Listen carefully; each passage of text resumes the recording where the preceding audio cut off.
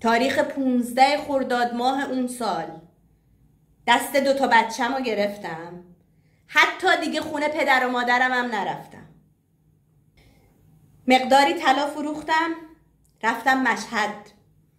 چون دیگه نمی‌تونستم به اون زندگی ادامه بدم. دیگه این چشام و گوشام انقدر پر شده بود که شب و روز سجده می‌کردم سر میکوبیدم به زمین می‌گفتم خدایا چرا من؟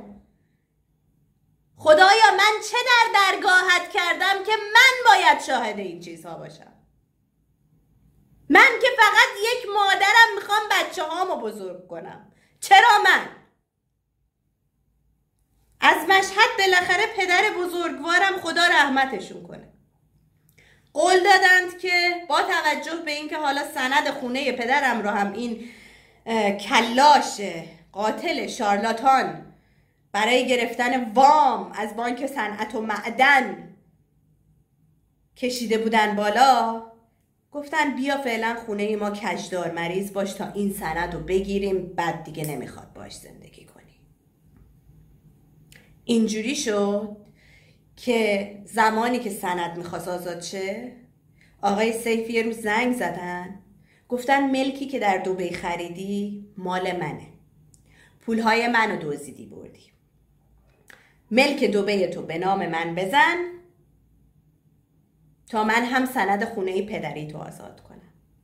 ایشون خوب می‌دونن که ملک دوبه مربوط به پول خونه سارا بلازا بود که 330 هزار درهمش رو پدر من داده بود. حق من بود و من با اون 330 هزار درهم حق خودم منزل اماراتم رو خریده بودم به علاوه وام بانکی. پای تلفن با ایشون دعوام شد. گفتم ببین محمود تا الان اگر خفه شدم حرف نزدم به آتیش میکشونمت. چون کم ازت نمی‌دونم و کم چیزهایی ندیدم. زیپ دهنم یه دفعه باز شد. گفتم جلسه با محسن رضایی و سوریه یادته؟ آیدنتیتی جدیدت یادته؟ تو ایران اگه پست برنیام آمریکا هنوز میخوادت. گوشی تلفن رو قطع کردم. شبش از یک شماره آنون به هم تلفن شد. اگر تا نیم ساعت دیگه می‌خوای خودت و خونوادت با گاز نرین هوا یه یادداشت خودکشی بنویس. بزار بیا فلانجا پارک جنگلی لواسان. اونجا منتظرتیم. برای حفظ جون بچه هام و خانوادم یادداشت خودکشی نوشتم. هرچی داشتم و نداشتم رو طلا و جواهرات و ساعت و همه چی رو در آوردم گذاشتم خونه. با پای خودم رفتم به قتلگاه وسط راه حس بچه هام که گریه می‌کردن پشیمونم کرد. گفتم خدایی وجود داره. برمیگردم ببینم چی شد. که در این فیما بین مادر و پدر عزیزم با کلانتری تماس گرفته بودند و برگه خودکشی بنده رو تحویل کلانتری داده بودند.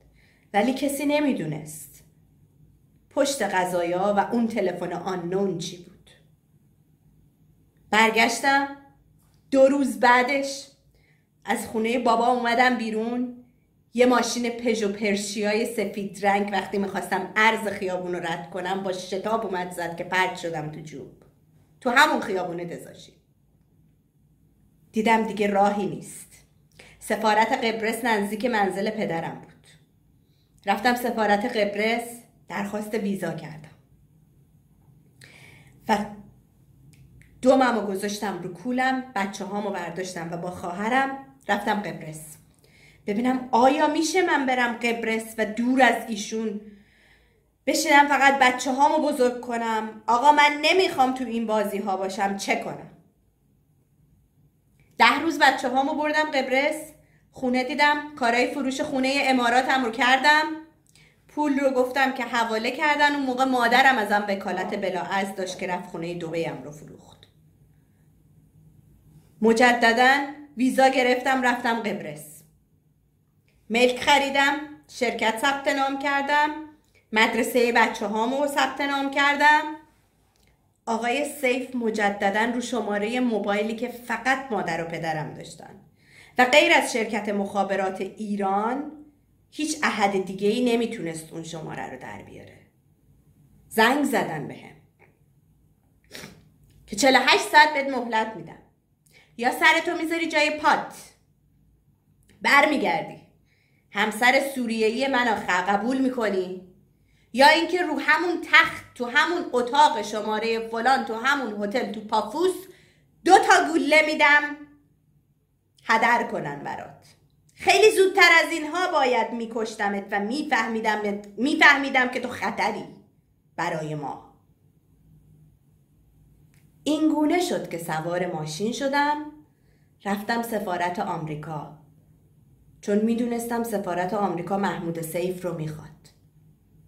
اونجا هم نرفتم که جاسوسی کنم یا همکاری کنم.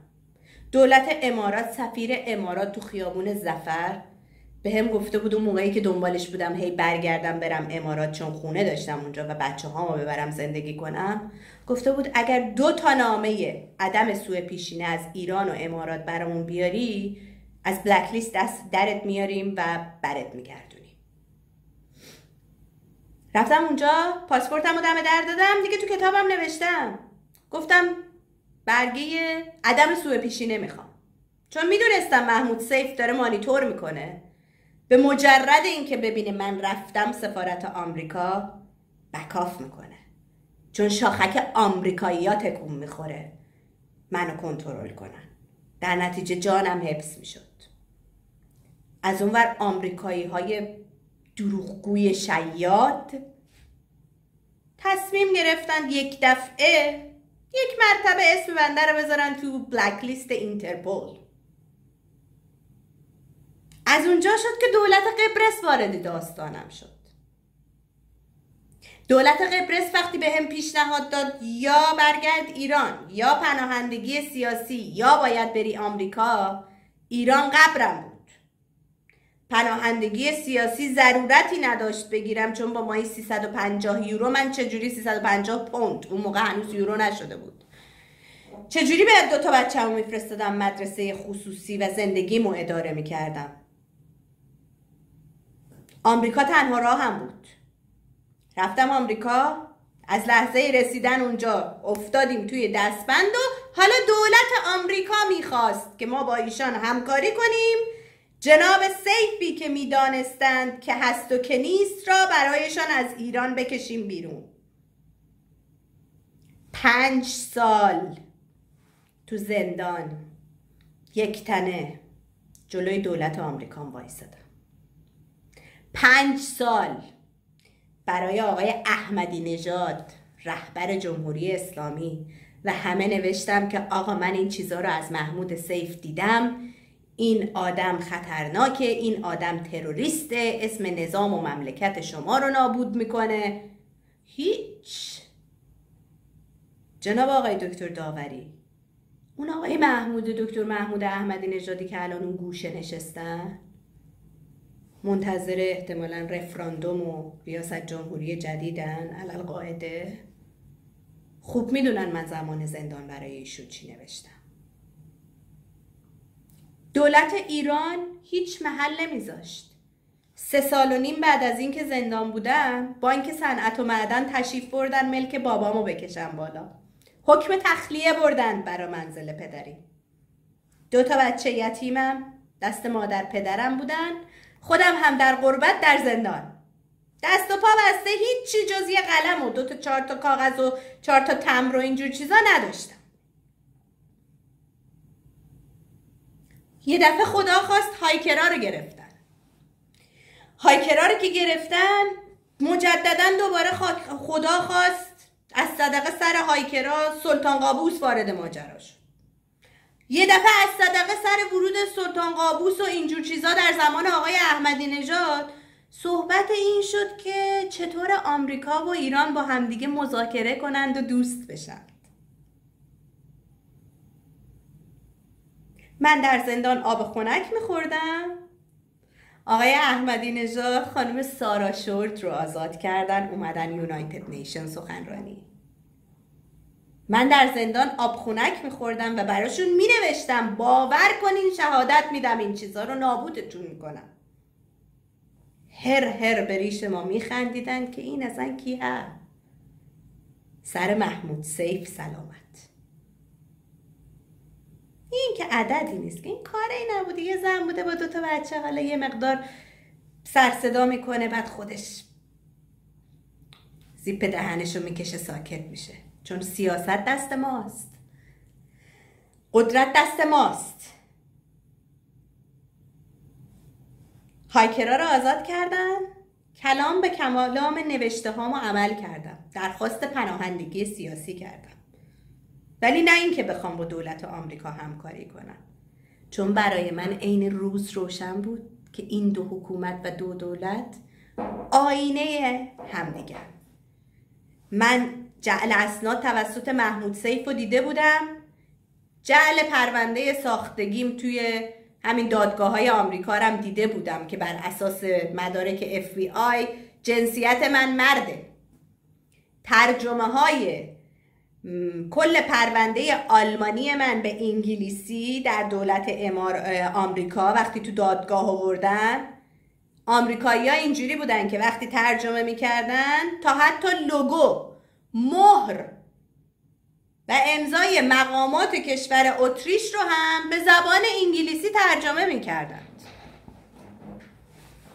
پس اونجا وقتی تو دادگاه های آمریکا به عنوان تنها زن ایرانی خودم خودم رو represent کردم merit داشتم برای حرف زدن. سند داشتم که اثبات کنم. کل این پرونده ساختگی برای به دست آوردن محمود سیف منو قربانی کردید. بعد زمان دکتر احمدی نژاد شما از ایشون بپرسین جواب بدن چرا آقای استقامت؟ اصرار کردن که من پناهندگی سیاسیمو بردارم ویدرو کنم و برگردم ایران. زمانی که مادرم و بچه هم بعد چهار سال تو زندان اومدن بیرون اومدن دیدنم از دست روزگار. این رو هم من انتخاب نکرده بودم. با آقای مصطفی رحمانی آشنا شدم. سرپرست دفتر حفاظت منافع ایرانیان.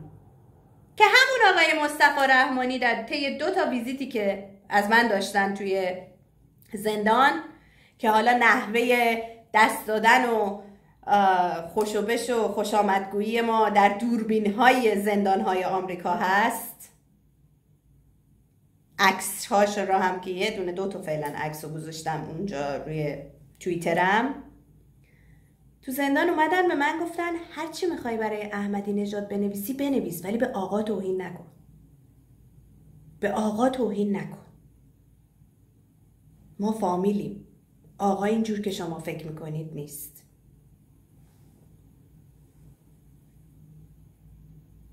این تموم شد. برگشتم اومدم ایران. به استقبال مرگ. چون می‌دونستم کی هستم چه شاهدی هستم چه دیدم و همه دیگه نوشتم. دیگه نمی‌تونم چیزی بگم. چون سند خودم تولید کردم دادم دستتون. برادران وزارت اطلاعات جمع زمان آقای احمدی نژاد. البته من همیشه میگم آقای بهزادی و آقای یکتا خیلی بچههایی با شخصیت و خوبی بودن. یه جورای خداوند اینها رو انتخاب کرده بوده که جان من رو حفظ کنن اول قاعده. نمی‌دونم. گفتن محمود سیف عددی نیست. تعهد گرفتن آقای محمود سیف رو سو نکنم ال نکنم بل نکنم تموم شد رفتم دنبال سند آزادسازی سند ملک پدریم گفتم اصلا دیگه محمود سیف تموم شد اصلا گذشته رو میریزم دور. حالا که الان یه فرصتی هست زنده بمونم و ایران فعلا این تعهده با این تعهده می‌تونم جون سالم به در ببرم. ولش کن محمود سیف و به منچ. برمیگردم در اجتماع و زندگی معمولیم با بچه ها بعد اکثر تلاشمو می‌کنم که سریع دومو بذارم رو دوشم. برم عمان. چون سلطان قابوس زمانی که من در زندان بودم به هم آفر داده بود که عمان رو مثل کشور خودت می‌تونی بدی چون تو عمان پناهندگی سیاسی ندارن. اصلا. گفته بودم می‌تونی بیا اینجا کشور خودت با بچه مادر باشی بچه رو بزرگ کنی. هدف من این بود. در بانک صنعت و معدن پای اوراقی که برای ملک پدریم بود با نام آقای محسن ساجدینیا و امضای آقای محمود سیف مواجه شدم. متوجه شدم که به به بعد از اون همه نگارشات بنده آقای محمود سیف بیشتر تقویت شدند و آیدنتیتی جدید هم کسب کردند. آقای محسن ساجدینیا باز هم گفتم سکوت. صدات در نیاد که هم خودت هم بچه هات هم خونوادت رو هوایی. تموم شد. دو هفته بعد وزارت اطلاعات فرمودند که خب شما تیغ دو سری یا سازمان بفرما کار کن یا بفرما اوین. آقای دکتر داوری عزیز که فکر می‌کنید بنده از توی لپ لپ در اومدم. یا دارم خودم رو به آقای دکتر سرفراز میچسبونم که از نام ایشون سو استفاده کنم؟ شدیدن در اشتباهید چون من انتخاب نکردم برم تو سازمان صدا و سیما.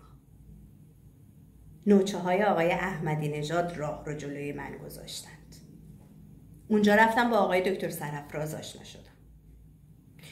دو سال شبکه پرستیوی که ما هی استفا می‌دادیم هی می‌خواستیم بریم از ایران چون خب می‌دونستم محمود سیف اسمش شده محسن ساجدینیا بالاخره یه روزی این منو می‌کشه. مطمئن بودم. اومدیم و رفتیم و یه دفعه آقای دکتر سرفراز شدن رئیس سازمان صدا و سیما و بر اساس عملکردهای ما توی پرستیوی آدمی که اصلا این چیزهایی که من الان واسه شما شفاف سازی کردم و ازش اطلاع نداشتن. فقط می‌دونستن که آقا من بیگناه رفتم زندان پنج سال زندان بودم اومدم بیرون. به ما یه حکم بازرسی دادن که اون حکم بازرسی هم کاملا داخلی بود. در معاونت هایی که انتخاب کرده بودند آقای دکتر سرفراز چون لابی نداشتند چون اهل حزبی نبودند ترجیح می‌دادن که بر اساس عملکردهای افراد و رزومه‌ای که دارن معاونت ها رو انتخاب کنن و به افراد اعتماد کنن و این اپورتونیتی رو بهشون بدن که کارشون رو نشون بدن. آقایی به نام محمد اخوان بهابادی رو به عنوان قائم مقام ریاست سازمان در امور فنی و همون معاونت فنی که حالا تغییر ساختار دادن اسمشون رو عوض کردن نشوندن روی اون صندلی. من هم با حکم بازرسی باید می‌رفتم کشف جرائم. کشف جرایم سه تا پرونده ای که کردم همش می‌خورد به زیر مجموعه آقای محمد اخوان بهابادی. یک مرتبه وسط کشفیات کاشف به عمل اومد که ای وای من. آقای محمد اخوان بهابادی که الان رئیس هیئت مدیره همراه اول علل قاعده هستند از دوستان و عزیزان آقای محمود سیف سابق و محسن ساجدینیا هستند که در مجموعه یاس با جناب آقای مهدادی دارن همکاری می‌کنن.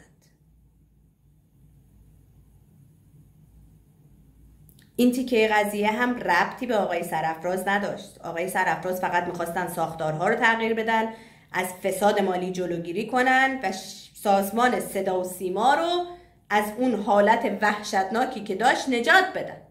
به ملت خدمت کنن برنامه های خوب بسازن کیفیت کارها رو ببرن بالا. چی میگید شما هی آقای دکتر سرفراز رو میارید این وسط؟ آقای دکتر سرفراز خیلی از این عقبه من رو اصلا نمی‌دونست. وقتی که ایشون گفتن که در یک جلسه آقای اخوان بهابادی ظاهرا یکیه با, با همسر سابق شما که شده آقای محسن ساجدینیا هم آقای محمود سیف همکاری دارن من اصلا دیگه از ترس بندری می‌زدم. من به اندازه کافی از محمود سیف دیده بودم می‌دونستم. عین روز برام روشن شده بود که به به حکومت جمهوری اسلامی ایران اصلا supporter محمود سیفه.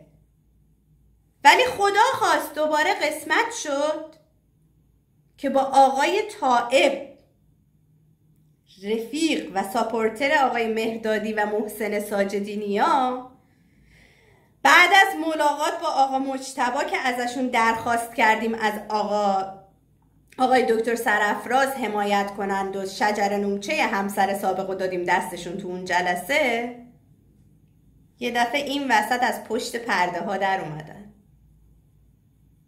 آقای دکتر داوری من انتخاب نکردم. سرنوشت و داستان زندگی اینجوری شد. آقای دکتر سرفرازم که بنده خدا. اصلا نمی‌دونست چی به چی. حالا من سه تا پرونده فساد داده بودم. شروع کردن واسش وایسادن. در جریان مزایده سازمان بود که یه دفعه مزایده سازمانم از اون مر خود آقای دکتر سرفراز خودشون با فساد مالی این آقایون آشنا شدند. ایشون بر اساس حرف من که آقا شهرزاده میرقل خان می‌خوام از دفاع کنم فلان بساری نه نبود آقا. مزایده بود. چابک سازی داشتن می‌کردن کار داشتن می‌کردن. اونجا پرده ها رفت کنار آشنا شدن. و با دو تا چشماشون دیدن که آقای طائب و آقای مجتبا خامنه ای چه به روز من آوردن.